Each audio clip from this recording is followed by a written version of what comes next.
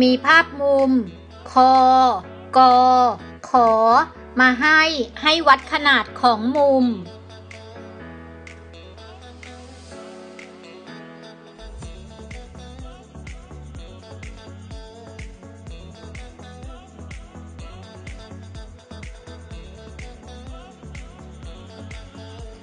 การอ่านชื่อมุมนะคะ เราอาจจะอ่านได้ว่าคอ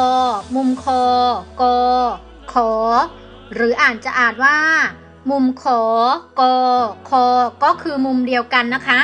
ก็ให้ตัวกออยู่ตรงกลางทำการวัดขนาดของมุมค่ะ ให้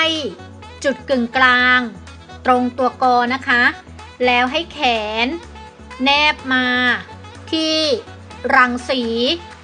กอคอแบบนี้นะคะ แล้วเราก็จะเห็นอีกเส้นหนึ่งนะคะ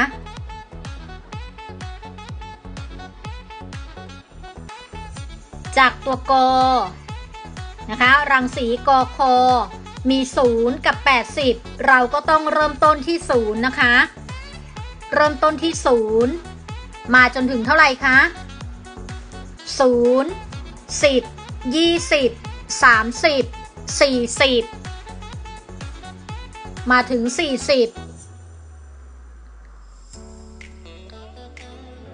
จาก 0 มาถึง 40 ก็คือมีขนาด 40 องศา เราก็จะอ่านว่า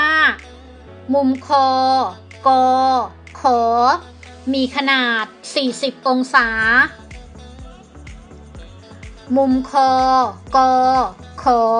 มีขนาด 40 องศา สัญลักษณ์ ด้านบนตัวกออ่านว่ามุม สัญลักษณ์บนเลข 40 อ่านว่าองศา อ่านว่ามุม คอกอขอมีขนาด 40 องศา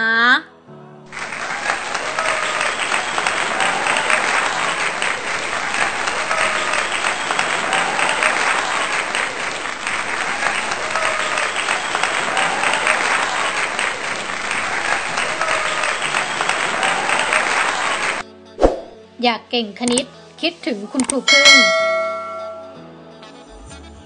อย่าลืมกดติดตามกันด้วยนะคะทุกคน และอย่าลืมกดกระดิ่งเพื่อจะได้ไม่พลาดคลิปใหม่ต่อๆไปนะคะ อย่าลืมกดติดตามกันด้วยนะคะทุกคน และอย่าลืมกดกระดิ่งเพื่อจะได้ไม่พลาดคลิปใหม่ต่อๆไปนะคะ